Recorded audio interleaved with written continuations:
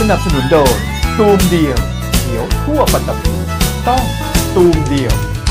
และแม็กวันเปิดตาดอกออกเห็นเห็นให้กับพืชทุกชนิด ต้องแม็กวันผลิตภัณฑ์คุณภาพจากแม็กซาโก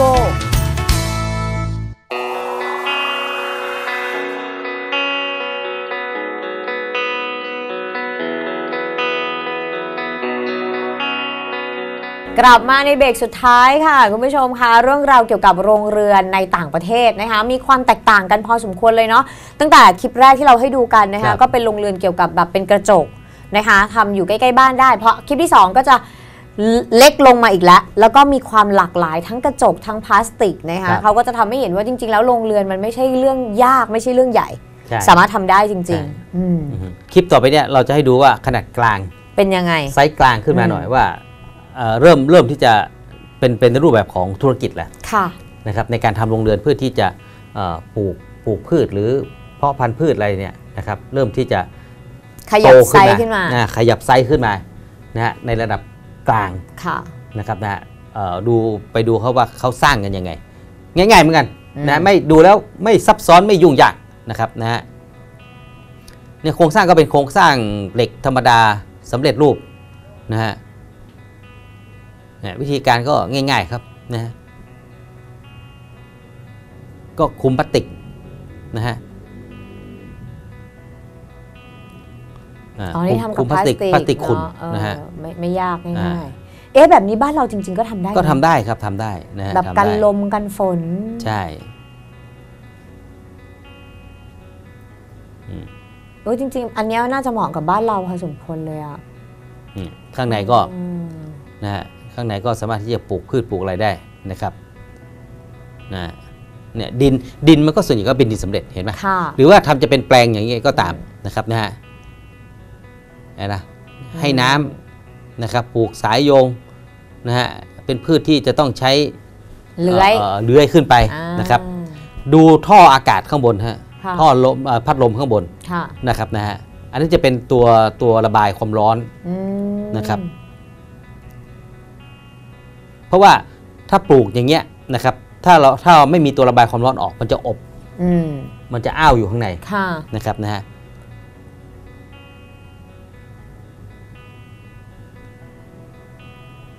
อ่าเห็นปะพืชก็เจริญเติบโตได้ได้ได้ได้ได้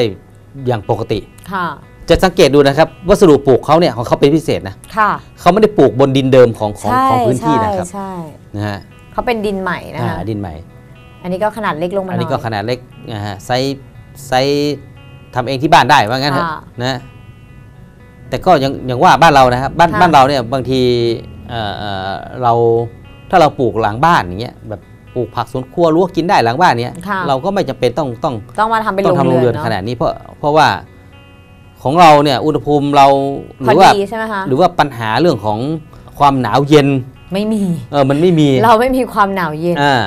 อันนี้ของต่างประเทศเขาบางทีเจอหิมะเจออะไรต่างๆไปเนี่ยครับเขาก็นะเลยต้องจำเป็นเขาเลยพื่จำเป็นควบต้องคุมใช่ใช่ต้องควบคุมไว้นะครับอันนี้ก็ทำของเรางจะมีแต่นความร้อนอย่างเดียวใช่ใช่ของเราส่วนใหญ่จะเป็นความร้อนอืมแล้วก็โรคแล้วก็แมลงใช่นะคะบ้านเราจะเป็นแบบโรงเรือนของเราเนี่ยส่วนใหญ่ก็จะจะจะใช้ในการป้องกันความร้อโรนคโรคแมลงแล้วโรคก็แมควาลมงร้อนอ่านนะฮะนะฮะแต่ของบ้านเขาเนี่ย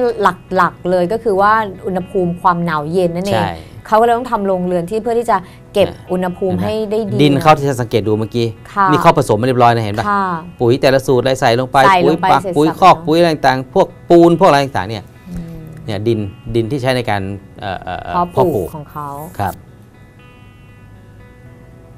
เอ๊ะทำไมเขาทำเร็วจังอะ เร็วจนตาลายไปหมดแล้วเนี่ย ฮะก็ก็ อันนี้ก็เป็นโรงเรือนที่คุมด้วยพลาสติกนะคะใช่ คุณผู้ชม ใช่นี่ เห็ไหม ช่วงหิมะตกอ่าใช่ไหมฮะอืมอ่าหิมะตก หรือเอ่อช่วง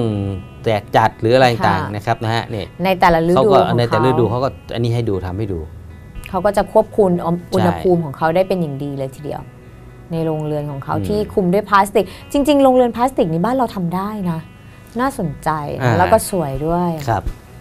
เนี่ยปลูกไว้หลังบ้านอืมนะครับจากภาพกิ๊บมุมเก๋สูกิ๊งบเก๋อันนี้ก็เป็นโรงเรือน ของต่างประเทศแต่ละแต่ละว่าที่แต่แบบดูแบบง่ายค่ะง่ายๆไม่ยากเลยอะง่ๆครับเขาทำเองป็นได้อะเป็นไอเดียให้กับพ่อพี่น้องเกษตรกรและท่านผู้ชมค่ะนะครับเชื่อในว่าเกษตรกรที่กำลังชมเราอยู่ตอนเนี้ยครับถ้าเห็นแล้วแบบนี้นะคะ ก็น่าจะทำได้ใช่ง่าย ๆ แบบไม่ยากเนาะบางทีเป็นพลาสติกเนี่ยน่าจะเหมาะกับบ้านเรา เดี๋ยวเดี๋ยวนี้เนี่ยอย่างอย่างอย่างที่บอกครับว่าพ่อพี่น้องเกษตรกรในหลาย ๆ พื้นที่เนี่ยนะครับค่ะนะฮะที่มีหัวคิด smart farmer กันหน่อยเนี่ยนะครับนะฮะก็เริ่มที่จะสร้าง นะครับเริ่มที่จะสร้างโรงเรือนต่างๆเนี่ยค่ะนะครับเหมือนเหมือนอย่างที่บอกเขาว่าไปดูเอ่อเทปในรายการนานาสาระอาชีพค่ะนะครับของพี่แชมป์มังกรเจ็ดเอ่อน้ำแชมป์มังกรเจ็ดน้ำเนี่ยซึ่งเขาไปถ่ายทำค่ะในหลาย ๆ เทปที่ไปถ่ายทำแล้วเราที่ดูเนี่ยก็มีการปลูกพืชในโรงเรือนหลาย ๆ พื้นที่นะอืมโดยเฉพาะทางภาคอีสานเนี่ยนะครับนะเห็นปลูกเห็นถ่ายทำมากันหลายค่ะหลายเทปหลายหลายเรื่องราวเหมือนกัน แล้วเขาก็ประสบความสำเร็จอืมนะฮะเขาก็ประสบความสำเร็จเพราะว่าส่วนหนึ่งเนี่ยบ้านเราเนี่ยนะครับ ไอการทำโรงเรือนเนี่ยไม่ใช่บางทีไม่ใช่เฉพาะแค่แค่การเพาะปลูกค่ะพืชนะครับ มันเป็นการท่องเที่ยวไปในตัวด้วยอ๋อใช่ ตอนนี้ทุกคนเพาะปลูกอ่าพืชเกษตรเพื่อการท่องเที่ยวใช่นะคะเปิดสวนเปิดฟาร์ม เพื่อที่จะให้ไปดูใช่ความสวยงามนะคะแล้วถ้าสมมติว่ามีโรงเรือนอยู่ในนั้นด้วยในแบบลักษณะแบบเนี้ยสวยๆแบบนี้ก็โอเคนะ ก็หลาย ๆที่นะฮะที่เขาเอาพืชเมืองหนาวมาปลูกในโรงเรือนค่ะ โดยเฉพาะเอ่อพวกไม้ดอกไม้ประดับต่างอ่าสวยของเนอะของต่างประเทศเนี่ยเอามาค่ะปลูก ในโรงเรือนอืมที่ควบคุมอุณหภูมิค่ะนะฮะก็เป็นสถานที่ท่องเที่ยวได้เหมือนกันอื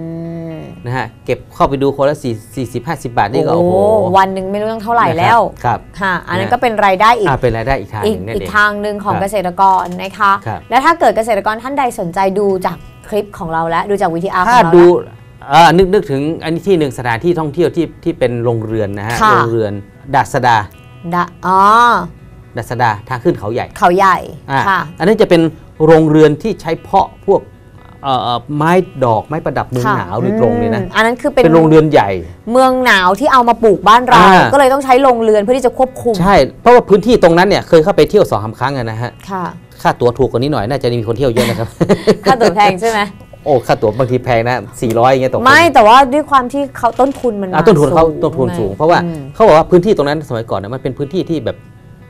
มันเป็นพื้นที่ที่แห้งแล้งค่ะมันเป็นพื้นที่ที่เอ่อไม่มีความอุดมสมบูรณ์ของดินน่ะอืมนะครับ ก็เลยต้องมาปรับปรุง เลยเลยเลยต้องปรับปรุงเลยต้องคิดกันขนาดใหญ่ว่าจะใช้ต้องต้นทำทุยันงไงเยอะนิดนึงอ่าค่ะนะฮะก็เลยก็เลยต้องต้องสร้างเป็นโรงเรือนอืมขึ้นมาแล้วก็ใส่เอ่อจะจะปลูกพืชอะไรที่มันที่มันให้ให้ผลตอบแทนสูง แต่ก็ดูแล้วก็น่าจะต้องคุ้มีมพวกไม้พวกไม้ประดับค่ะแล้วเขาก็ตัดตัดไม้ประดับส่งขายตัดดอกอืมส่งอะไรต่างๆเหล่านี้นะครับอืมนะฮะแล้วก็ ช่วงหน้าหนาวนี่ก็เปิดโรงเรือนให้ชมกัน ค่ะแล้วโอ้โหดอกไม้สวยงามมากน้องนีน่าเคยไปเที่ยวเปล่ายังแต่ว่าเคยดูอย่าลืมพาแฟนไปเที่ยวนะ พาแฟนสวยงามมาก ตากล้องสวยงามนั่งมาก หัวเราะหึหึกันหลังหลังกล้องแล้วค่ะพอน้าบอกบอกให้พาแฟนไปเที่ยวเนี่ย สวยงามมากค่ะต้นไม้ไม้ดอกไม้อะไรต่างๆเนี่ยคุณภาพเขาเนี่ยดีกว่าดีหกรืว่าว่าด้วย อาจจะอาจจะใช้คำว่าดีกว่ามันดูจะเวอร์ไปนะดูว่าไปเหรอ ดูเวอร์ไปเอาเป็นว่าเออเหมือนเหมือนกับ ต่างประเทศเลยสมน้ำสมเนื้อกับราคานะอ่าคุณภาพนี่แบบใกล้เคียงกับของต่างประเทศเลยอ๋อใกล้เคียงกับเจ้าของประเทศที่เราเอามาจริงๆที่เราใช่เอาไหมมาจริง ๆเลยนะครับนะฮะก็แปลว่าถ้าไปแล้วจะไม่ผิดหวังแน่ไม่นผิดอหวังนไม่ผิดหวังแน่นอนนะคะเพราะว่าการที่ครับเอ่อในคือถ้าสมมติว่าเขา ทำมาเป็นธุรกิจอะค่ะน้ำป๋องครับเขาก็ต้องควบคุมทุกอย่างเป็นอย่างดีแปลว่าใช่เขาก็ต้องศึกษาอย่างดีว่า ดอกไม้ประเภทนี้หรือพืชชนิดนี้เนี่ยครับเอาจากเมืองหนาวเข้ามาบ้านเราใช่ต้องควบคุมอะไรบ้างใช่โรงเรือนที่สร้างขึ้นมาจะต้องจัดการอะไรได้บ้างอ่าเพราะว่าเขาเขามีแล้วก็ที่ไหนอีกนะถ้าพูดถึงที่ในโรงเรือนนะฮะส่วนใหญ่จะเป็นทางเหนือขึ้นไปเนาะอ่าสวนสิริกิตอ่าสวนสวนพฤกษศาสตร์สวนค่ะสิริกิตค่ะที่อยู่อำเภอแม่ริมค่ะ อันนี้ก็มีโรงเรือนโอ้ใช่โหไหมโรงเรือนเขาใหญ่โตมากค่ะ โรงเรือนใหญ่เลยนะอือหือเป็นโรงเรือนกระจก เป็นกระจกด้วยอ่าเป็นกระจกอืมแล้วเขาจะแยกเลยนะครับว่าโรงเรือนนี้สมมติว่าปลูกปลูกเอ่อพืชค่ะเอ่อพืชทะเลทรายค่ะก็จะมีแต่พืชทะเลทรายเลยเป็นบรรยากาศแบบทะเลทรายคือพอเราร้อเข้านไปแรงเลเรายเราก็จะถูต้องเห็นแบบนั้นเลย เห็นแบบนั้นเลยร้อนแรงอืมในปลูกแคสตัสพวกตะบองเพชรพวกอะไรต่างน่สนใจๆพืชมาต่ากงอันนี้เราชอบๆนะครับนะฮะถ้าโรงเรือนอีกโรงเรือนหนึงก็จะเป็นพวกเอ่อพืชที่เป็น อย่างอย่างพืชพืชเหมือนป่าดงดิบอย่างเงี้ยค่ะมันเขาก็จะควบคุมอุณหภูมิความเหอนป่าดงดิบชื้นความขึ้นมาชื้นเลยอะไรต่างๆมีอ่าน้ำปงน้ำตกมีอะไรต่างๆข้างในค่ะ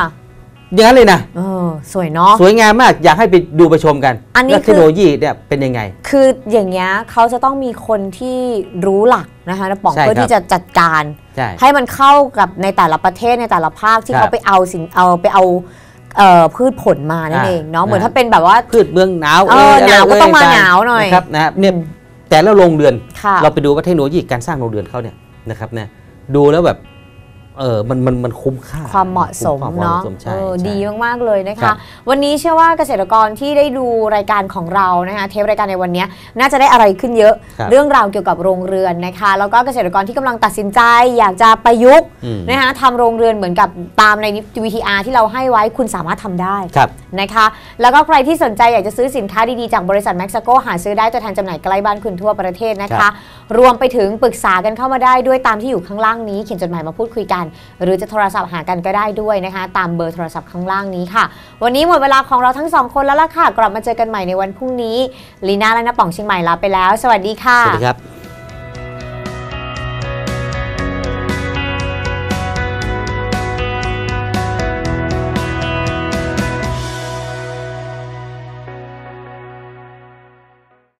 สนับสนุนโดย ชัวชัวฉีดตรงไหน ใหญ่ตรงนั้น ต้องชัวชัวและ M2 หยุดการร่วงของดอกและผล ขยายสะโพกในสับประรด ต้อง M2 ผลิตภัณฑ์คุณภาพจากแม็กซาโก